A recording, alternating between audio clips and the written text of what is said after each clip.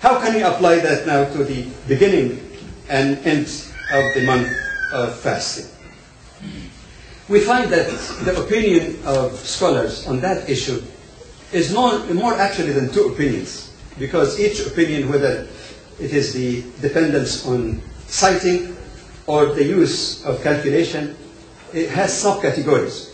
An example that those who say we take sighting, is it by the naked eye, is it with the help of uh, binoculars or telescopes or other means, and even hisab, calculation. Should we take hisab in negation or affirmation? There are all kinds of, but to simplify, let's say the issue of calculation, this is the most contemporary, hot debate, you might say, in Muslim communities in the West. To take hisab, calculation, or to take uh, sighting. Perhaps one can, uh, instead of getting into details, this was covered to some degree in some khutbahs last year. Research papers are found, so we should educate ourselves as Muslims. Lots of. Then the question here is raised: Is the sighting of the hilal, the crescent, in itself an objective? Because at that time the uh, the science of astronomy, and I'm not talking at all about astrology that some ulama even mixed up between the two. Astronomy was a science that has not matured and reached a high degree of accuracy as we have today.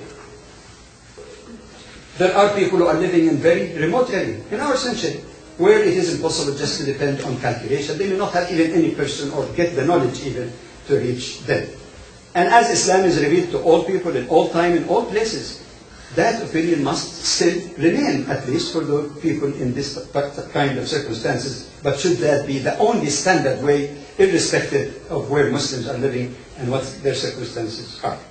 Did everybody becomes literate, or most people, before they observe fasting? No. So, so he's describing that, and that's why he indicated the months is like this, the months is like that. In fact, even that might justify even his statement, don't fast until you see the hilal, because otherwise everybody would be divided. So in the circumstances, that was the most suitable thing.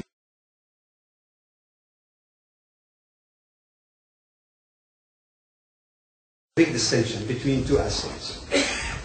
Sightability and the astronomical new moon. Sightability, which means that in a given region or city, is it really possible or what is the degree of probability that the moon would be sighted? Because there are so many factors involved, how we see the moon, the angle, there are so many complicated factors. And yes, indeed, this is not yaqini, this is probabilistic.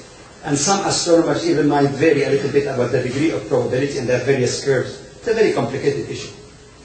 But that should never be mixed with the most definitive issue in astronomy that nobody that I know of argue about, unless they don't know.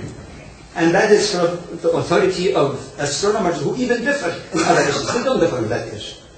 It is commonly known among people as the new, the birth of the new moon. This is not a very accurate statement, actually. Talking to astronomers say the more accurate term is astronomical new moon, because when you talk about birth, death, and it's, it's a concept that might confuse it. They call it astronomical new moon. And that is determined actually at the time when the conjunction takes place with the earth, the moon, and the sun are on the same line, so it's total darkness. And even one moment after that, the separation, iftiraq, begins to take place, that marks that. So the, the period of darkness is at the same time, the end of one month, and just about a moment before the, because the, the movement of bodies and their laws does not stop and say, oh, it ended now, let us begin the new one. It's constant, it's just the moment of separation. That issue is calculated by the second for years, for hundreds of years to come. Is a brief uh, or abbreviation of the khutbah, inshallah, to be basically informed. Uh, today uh, happens to coincide with the 14th of Sha'ban, a blessed month in which we get ready to receive the month of Ramadan. The Prophet ﷺ used to fast in Sha'ban uh, more than any other month save the month of Ramadan. In the month of Sha'ban, our deeds are, are ascends to Allah subhanahu wa ta'ala and He knows everything without ascending. But this is as mentioned in the hadith of the Prophet sallallahu alaihi wasallam. Uh, some recommend that fasting even a few days in the month of Sha'ban for those who are able to uh, may help train us and get us ready to face a greater challenge that is the fasting of the month of Ramadan. The purpose of this khutbah is not to speak about the virtues of Siyam, which is the fourth pillar of Islam. Inshallah, this probably will be forthcoming in Ramadan, inshallah, and maybe before for those who are giving khutbah, inshallah, in the next two Friday.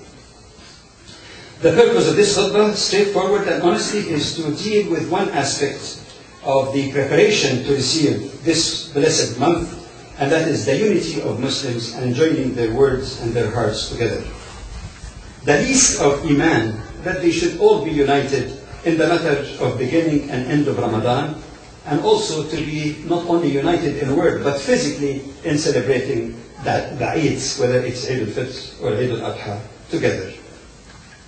It is no secret that we all know that the unity of Muslims is something that's a very challenging and difficult kind of objective. And if indeed unity of Muslims were manifest in, their, in the reality of their lives today, their situation would not be as pathetic as we see today of division, in some cases even disputation and enmity.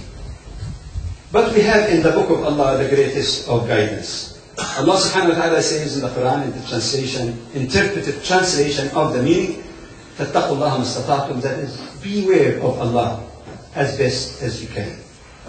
Maybe this ayah was a foundation for a very famous statement that things that you cannot achieve in food, don't leave most of it. In other words, achieve as best goodness as you can, even if you can't achieve perfectly. This means, in fact, that if it is really impractical because of our situation as Muslims, that the whole Ummah is reunited as an Ummah, transcending barriers and nations and all of that, let's have unity at least on the level of each country, so-called today. In Muslim countries, it's not a problem because the Amir declared that, that the problem arises with people who are living in countries where we don't have a system of government or other bodies that are universally recognized by all. If that is uh, not possible, then the least of iman, أضعف الإيمان to adopt the hadith, wording of the hadith of the Prophet, the least, least of iman, of faith, is to be united at least on the level of one city and the surrounding city. And it is actually the responsibility of leaders of various communities and masjid in various areas, whether it's New York, Chicago, or any other place, to meet together. This hasn't happened in some areas yet. It's happening in other places. And abide by whatever decision, one opinion or the other, so that unity of Muslim again could be achieved. That is the least of Iman. But until that is realized in some places, lesser than the least of Iman is that people, at least who perform their Taraweeh and prayer in a given masjid, should not be divided, even though this is not really even the least that one can hope for. It is lesser than the least, but again, it's a matter of reality and practicality. In fact, we have a, a guidance in the words of the Prophet ﷺ when he says fasting is when you fast, not you as an individual, because this is also a collective event. And breaking the fast is when you, meaning you and other Muslims break fast, and your udhiyah, that's the Eid al-Adha, is the day when other Muslims also offer their uh, sacrificial animals. By this, the Prophet ﷺ is emphasizing one important thing, that is the unity of Muslims, especially in these very essential and important uh, occasions. Maybe it is this hadith and the likes uh, might have led many people of knowledge, the scholars, to say a famous statement that if Muslims join together on a marjuh opinion, and we explain the word marjuh, inshallah, we explain it more marjuh, an opinion that is even regarded, regarded by some as less powerful, less important, but has basis. It is better actually than being divided to offer their uh, sacrificial animals. By this, the Prophet ﷺ is emphasizing one important thing, that is the unity of Muslims, especially in these very essential and important uh, occasions. Maybe it is this hadith and the likes uh, might have led many people of knowledge, the scholars, to say a famous statement that if Muslims join together on a marjuh opinion, and we explain the word marjuh, inshallah, we explain it more. Marjuh an opinion that is even regarded, regarded by some as less powerful, less important, but has basis. It is better actually than being divided because each one insists that my opinion is better or my opinion that I follow is more authentic. But let's have a comment on this statement made by ulama so that we don't really misunderstand what they say. Words are very important. The terms they use in Arabic, rajih and marjuh, actually means something that I claim in my own ijtihad that it is better. And marjuh, something less authentic, it's not an absolute statement of fact. It is a perceptual matter, it is based on individual ijtihad of scholars or groups of scholars for that matter. Now, the reason of the importance of uh, the words here is that both terms, more authentic, less authentic, stronger and weaker, is a perceptual matter. It's an ijtihadi matter. And since there is no person who is ma'soom, protected from any error in the matter of Sharia and conveyance of the message to us, other than Prophet Muhammad then what a scholar see as more authentic, actually others might see as less authentic, and vice versa. That's, that's fine, that's human. And that's part of the dynamism of Islamic Sharia when it gets to the furu' branches, it is not in the permanent and fixed things. In fact, we have a good example in our pious predecessors. Of course, our ultimate example is the Prophet ﷺ. So after him, uh, we heard a very famous statement that was repeated here in khutbahs and other places. But uh, this morning I started to reflect on it and thought of that we could just elaborate or articulate it a little bit. The, fam- the statement is very famous. Imam Shafi'i, in spite of his knowledge and scholarship, says, my opinion is right but could be wrong, and the other opinion, the opposing opinion, is wrong but could be right. This is really an interesting thing, and we should not just repeat it without reflecting on it. First of all, Imam Shafi'i says, Ra'yi rajih, which means my opinion, from my perspective, from my own ijtihad, is stronger. So rajih here doesn't mean uh, it's the only one. To me, to my scholarship, my research as alim, great alim like this, it is, it is better. It's, it's more strong support and so on. But then he says it is better or right, but could be wrong.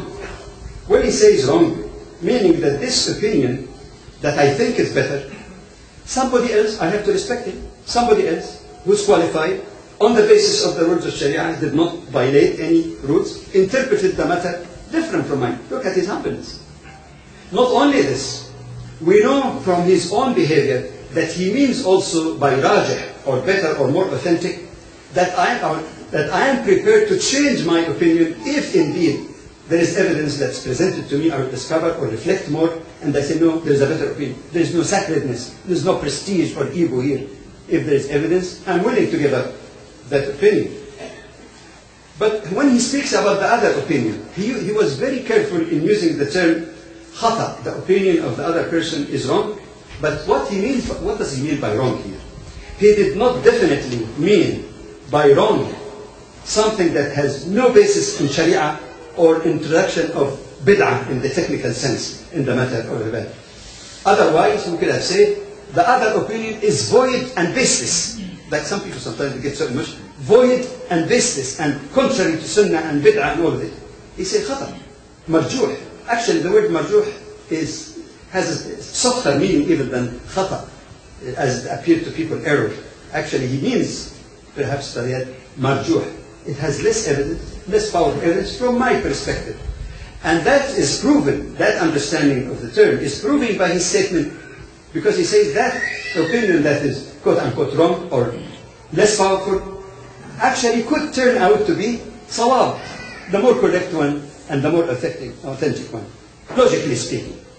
Would any scholar say that the other opinion that is void of any truth, baseless, bid'ah, contrary to Sharia, may be proven to be true? You know, we read the hadith, we hear it. Sometimes it's subhanAllah, even this thought just came to my mind this moment. Is it logically possible to say an opinion that is void and bid'ah may turn out to be correct? Nobody would say that. So obviously what he means here, that it's a matter of interpretation. How can we apply that now to the beginning and end of the month of fasting? We find that the opinion of scholars on that issue is more, more actually than two opinions, because each opinion, whether it is the dependence on sighting or the use of calculation, it has subcategories. An example that those who say we take sighting, is it by the naked eye, is it with the help of uh, binoculars or telescopes or other means, and even hisab, calculation, should we take hisab in negation or affirmation? There are all kinds of, but to simplify, let's say the issue of calculation, this is the most contemporary, hot debate, you might say, in Muslim communities in the West. To take hisab, calculation, or to take uh, sighting. Perhaps one can, instead of getting into details, this was covered to some degree in some khutbahs last year. Research papers are found, so we should educate ourselves as Muslims. Lots of material available uh, on uh, all of these arguments in different levels. For those simply who are familiar already with ru'ya, which has been practiced for centuries even, uh, and just want to find out, they don't have the time, just want to find out what are the basis for the new fatwa, or for those on higher scholar level who might wish to sit down and compare evidence and come up with their own personal conclusion, that's fine. But I think suffice for us here, in a general khutbah with the time catching up with us, is to raise seven issues. I would say issues even more so than questions. Some of them might be in a form of questions, or might say rhetorical questions in some sense. Number one, is the Sharia reason for people to fast? Is the beginning of the month of Ramadan, or is it sighting of the Hilal? And if we go to the Quran, we find several ayah when it speaks about fasting. So are many of the hadith that speak about the month, not fasting, uh, not referring to that. Some hadith refer to Hilal. But in the Quran itself, the source of sources, it makes fasting compulsory not on the sighting of moon, but beginning of the month. But again, the answer to that question might raise another question. If we say even that the illah, which I think in my humble understanding, and the ulama who give the fatwa see it as a very weak basis, that the illah, that the sharia reason for fasting is sighting not a means, take that. Then the question here is raised. Is the sighting of the hilal, the crescent, in itself an objective, uh, a, a matter of ibadah, an act of worship? Some even said that, an act of worship, an act of worship you don't tamper with, you have to follow it until the day of judgment. Or is it understood to be a means of ascertaining the beginning of the month? And as such, the permanency of the objective, which is fasting, does not change, yet the means of ascertaining when to fast or regular fast is subject to change, especially if another means, if it's a means, if there is a better means with the growth of science, and also when there is a need which is both practical, like our uncertainty here in North America, practical, but also shari'i, which means not just in the name of practicality, you, you tamper and have something that's not based on sound sharia reason. The third question. Many of us heard, and everybody has revealed to all people in all time, in all places, that opinion must still remain, at least for the people in this kind of circumstances. But should that be the only standard way, irrespective of where Muslims are living and what their circumstances are? The fourth question is the difference between scholars in interpreting this hadith, unlike hadith, constitute a rejection of Sunnah? May Allah save us from this. Or is it rejection of one particular possible interpretation of the hadith? See, there is a big difference. Some people are so jumpy that they say, you're rejecting Sunnah, you're rejecting hadith. But what you're rejecting, or what the other scholars are rejecting, is one particular interpretation of that hadith. It's not rejection of Sunnah itself, we should be humble. Differing legitimate interpretation doesn't mean rejection. And I, nobody should get offended if somebody rejects your interpretation. But to say reject Sunnah, that's a major, major type of, of problem. May Allah save us from. The fifth question. Some people also refer to an important hadith of the Prophet that we are unlettered people. We don't write and we don't calculate. Then he pointed with a finger to show that the month, meaning the month, lunar month, is either 29 or uh, 30 days. But again, how should that be interpreted? Because you've heard various interpretations. Should we understand or interpret that hadith that it is urging the ummah, it's praising the ummah because it's unlettered? Just like saying, نحن أمة موحدة. If you say we are ummah that has character, that believe in unity of Allah, obviously that's praise more than just informing. That's definitely mostly praise. When the Prophet ﷺ speaks the, op- the opposite, that we are unlettered people, can that be understood to mean that it is good virtue to be unlettered? Even though the Prophet ﷺ himself, as well as the Quran before he speak in a variety of ayat and hadith about the importance of seeking knowledge religiously and otherwise. Does it mean that we should never bother about the science that involve any calculation at all? Mathematics, geomet- geometrics, everything else, geometry and all these uh, sciences? Is it rejection? Or can we understood it legitimately also that he's describing the state of the ummah in his time? And the Quran described them as such, that they are unlettered. And should they wait until everybody becomes literate or most people before they observe fasting?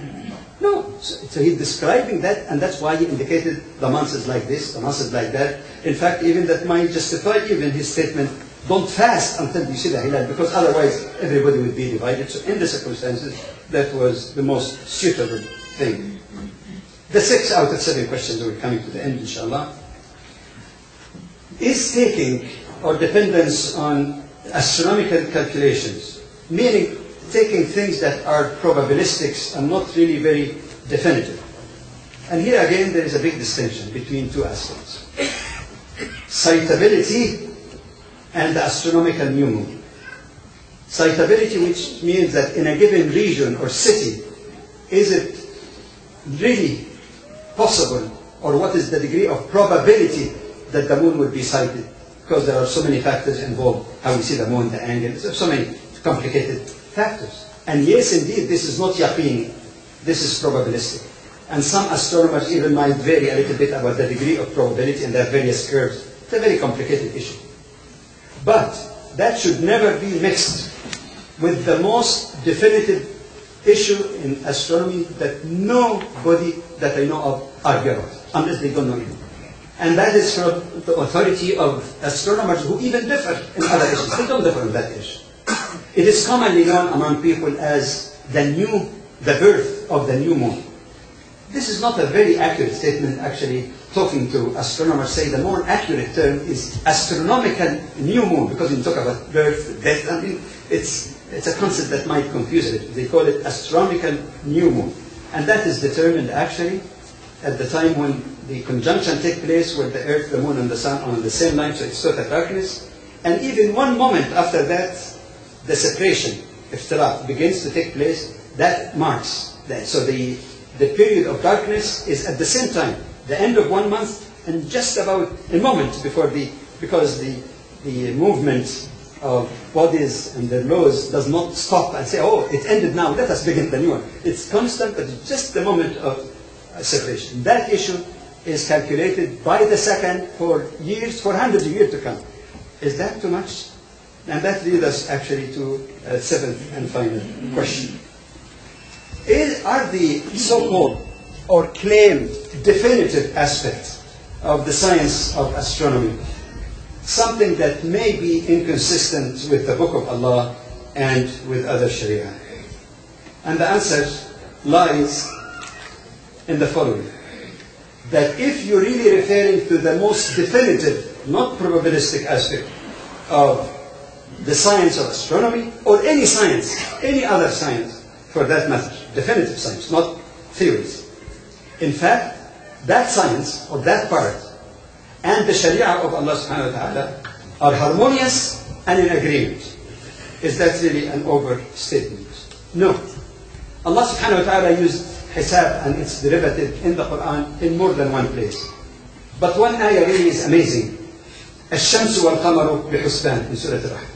Surah Al-Rahman. It says the sun and moon follow, Ah, Between brackets for Husban.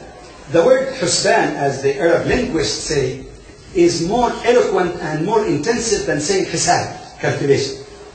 It means actually very accurate, very meticulous calculation, not any calculation, most definitive kind of calculation. Now, is that definitiveness, whether it relates to the phases of the moon, or the movement of the sun, or the various movement even in the constellations or solar systems, something really that is incompatible with the Quran? The answer is definitely no. No hesitation in my humble understanding. Definitely no. Why? Who created that universe? Who, as Allah says in the Quran, made it in such a way that it follows very definitive laws? Who created those laws? Many people use the term laws of nature. I beg to differ. The laws that Allah created in nature. Nature did not create this. Allah created these laws. So He's the source of that.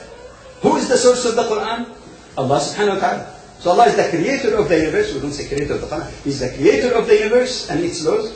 And He's the revealer of that Quran to His Prophet sallallahu. So in the ultimate analysis, they are mutanaghiman. They are actually in harmony with one another. Finally, I must say that some people may say, justifiably, that the way these questions are shaped, as, as I said and acknowledged earlier, might be to some degree a rhetorical question.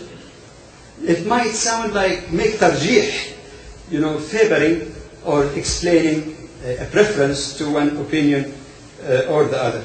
Yes, there is no argument about that, and there is no apology for that. You don't have to apologize for that. All the great scholars in the past, and we're only small students, it's not, I'm not, I don't belong. All scholars in the past and present, they engaged in tarjih. Anyone who knows the slightest thing about Islamic tradition, they make tarjih.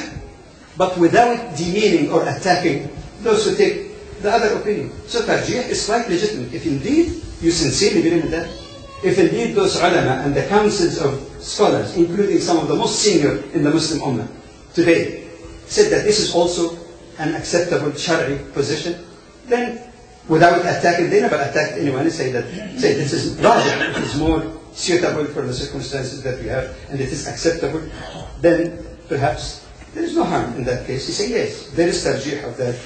And in fact, on the basis of that, and taking into heart the, the fatwa of more than one com- uh, council, and actually even, I was checking the website this morning, that even those who talk about sighting, the expectation is that the, still the 1st of September is the beginning of Ramadan. There might be some difference uh, on the end of Ramadan, but once we take a consistent plan, and that's what was done last year, so I pray to Allah subhanahu wa ta'ala that we should all unite, we should not get into disputation about that, continue, both are acceptable, we settled on that uh, last year, whatever the methodology and criticism of the way we, we try to ascertain the uh, opinion of the community, but at least let us keep that unity, inshallah.